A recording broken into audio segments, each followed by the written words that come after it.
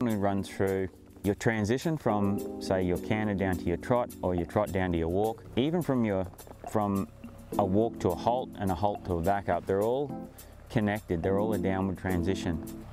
All these sort of things are cue related, so if I can have the horse understand what the cue is, then they'll anticipate what's to come next. Getting it in the right order and just practice time and time again until the horse starts to anticipate.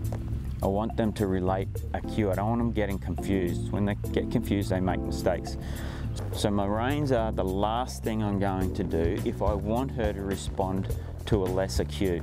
If I have to pick up the reins because she didn't slow down, so be it. But if I keep it in that order, it's only a matter of time before they anticipate it. And then once they get it right, I just big big reward for them.